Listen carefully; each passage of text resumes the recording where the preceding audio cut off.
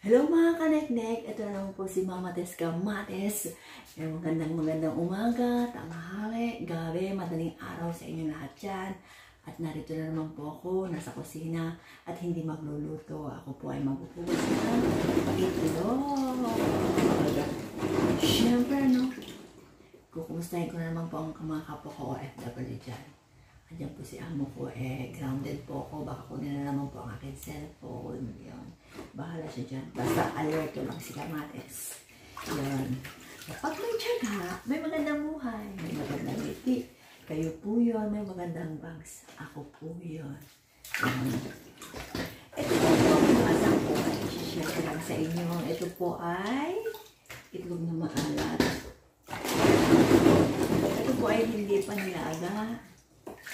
Kasi meron pong order na mooncake sa amo ko. Nagkakasan ko.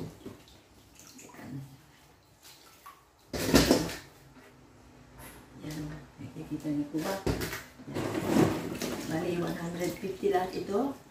At uh, ang style po rito, ang mga itlog nila dito, hindi nila ginagawa.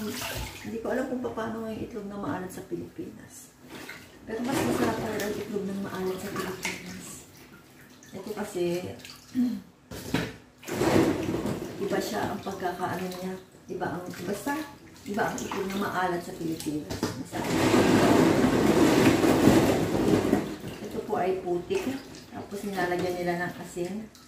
Tapos tat, mga tatlong buwan. Sisilip-silip. Baka si Amo, bigyan mo ba? Tayo naman si Mama Tess.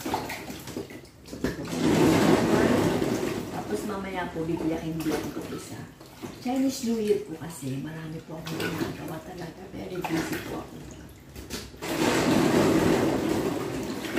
Alam niyo naman, nagtitinda ng mga para sa amo ko, yung mga minamatamis niya, bebe nilenta, pinari, niriripak-ripak niya, katulad po ng mga red dates.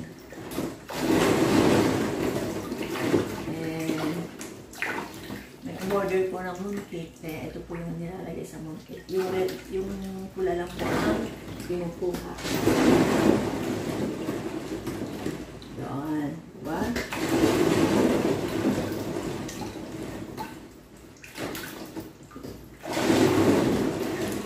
Sarap si amo ko sa tubig na ganito, no? Biglang uwi sa Pilipinas. Pero mabait po. Mabait po yan. Pagdating nga lang sa trabaho. Pwede ba yun? Hindi na ako nakakaupo eh. Dungaw-dungaw lang nga eh. Kasipi. Tapos pagbabawala. Diba? Ganyan lang po ang buhay. Ay, tiis-tiis lang.